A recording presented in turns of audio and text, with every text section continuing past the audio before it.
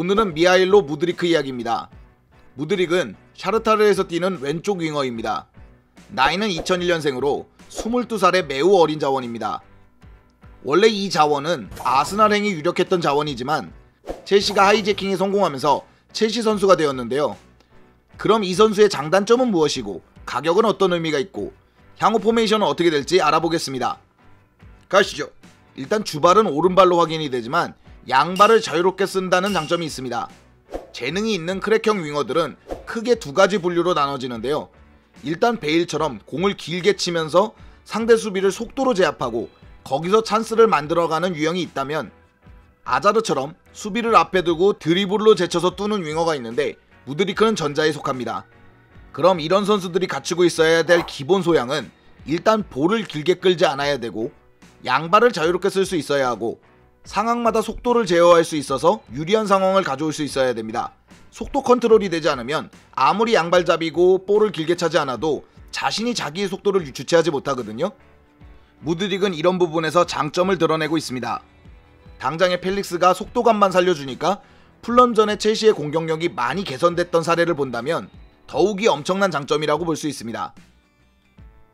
두 번째는 킥력입니다.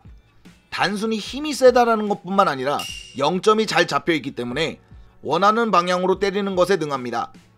그러다 보니까 샤르타르에서도 세트피스를 자주 맞기도 했고 그러면서 정교하게 킥을 넣어줄 수 있는 선수인데요. 사실 이 능력은 지혜의를 제외하고 나면 첼시의 이 정도 능력을 보여줄 수 있는 자원은 펠릭스뿐입니다. 아 근데 그런 아무튼 지혜의 정도의 킥력과 센스를 제외하고 나면 그 정도 능력을 갖추고 있는 건 무드릭입니다. 스탯을 만들어내는 능력도 있습니다. 리그 12경기에서 7골 6도움, 챔스 6경기에서 3골 2도움으로 한 경기당 한 포인트를 올려줄 수 있는 자원이고 특히 여기서 눈여겨볼 포인트는 득점을 하는 만큼 도움이 따라오는 그런 자원입니다. 그리고 첼시 팬으로서 가장 눈여겨보는 것은 선수가 부상이 아예 없습니다. 그러니까 무드릭은 정리해보자면 후방에서 공을 빙빙 돌리다가 답답하게 뺏겼던 첼시의 역습을 살려줄 수 있고 무드릭 혼자 드리블이 워낙에 빠르다 보니까 상대 수비에 균열을 일으키고 우리 팀의 좋은 찬스를 만들어내줄 수 있는 킥력이 좋은 드리블 윙어라고 볼 수 있습니다. 다만 이걸 단점으로 바로 넘기면 독이 될 때가 있습니다. 워낙에 드리블에 자신이 있는 선수다 보니까 혼자 플레이하다가 뺏기거나 기회가 왔을 때 빨리 내주지 못해갖고 답답한 플레이를 보이기도 합니다.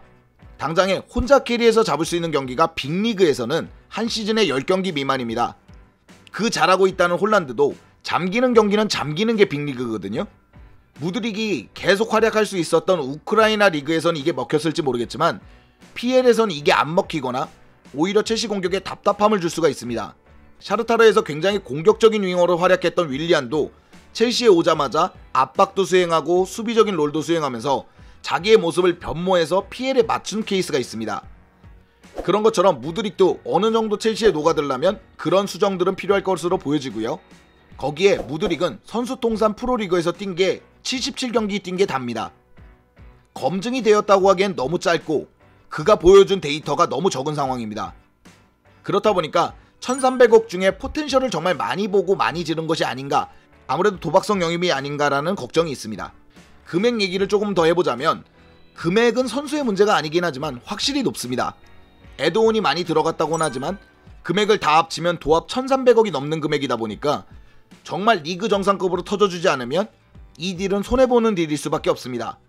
자, 향후 포메이션을 예측하자면 무드릭은 애초에 왼쪽 윙으로 많이 나옵니다.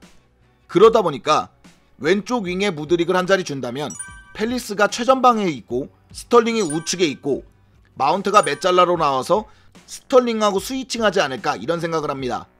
펠리스는 최전방에 있긴 하지만 많이 내려오는 풀럼전 heat map을 보시면 정말 많이 내려와서 빌드업을 하거든요. 거기에 속도를 살리면서 주고받는 게 되는 자원이기 때문에 무드릭과 펠릭스가 왼쪽에서 역습 전개나 빠른 공격 전개를 이끌 것으로 보여집니다. 여기에 숫자적으로 부족하거나 수비적으로 부족한 부분은 제임스와 치레리 복귀해서 재기량을 보여준다 그러면 측면 공격과 측면 밸런스는 첼시의 가장 무서운 패가 될 수도 있습니다. 자 이렇게 무드릭의 오피셜을 알아봤는데요. 개인적으로는 정말 비싼 딜이지만 선수 자체는 정말 좋은 선수라고 생각합니다. 그렇기 때문에 무드릭이 잘 적응해서 2030년까지 계약이 되어 있기 때문에 건 10년 동안 첼시를 정말 잘 이끌길 바라면서 이 영상을 마무리하도록 하겠습니다. 오늘 영상은 여기까지고요. 즐겁거나 유익하셨거나 도움이 되셨다면 당신의 구독을 기다리겠습니다. 감사합니다.